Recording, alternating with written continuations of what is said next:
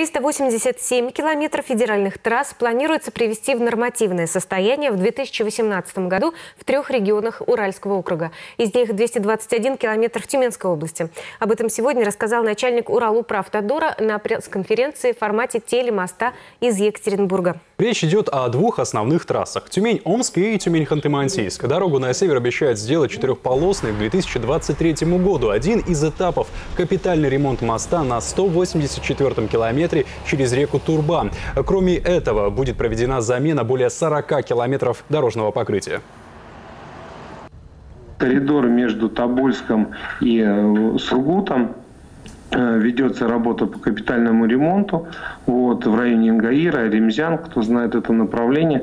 Э, мы строим дополнительную полосу на подъем, потому что сегодня действительно две полосы движения есть затруднения для грузового транспорта. Эта работа будет завершена в этом году.